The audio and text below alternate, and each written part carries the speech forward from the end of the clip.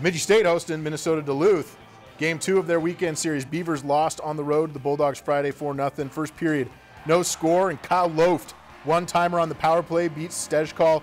BSU would score another, but the Bulldogs tie it 2 2 by the end of the second. In the third, UMD works around to Kyle Bettens. He finishes, and the Bulldogs take a 3 2 lead. They would score another.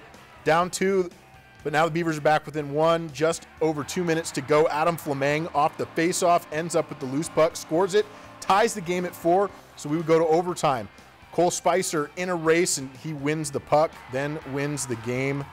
Minnesota Duluth beats Bemidji State 5 4 in overtime in a thriller. Lakeland News is member supported content. Please consider supporting Lakeland News today.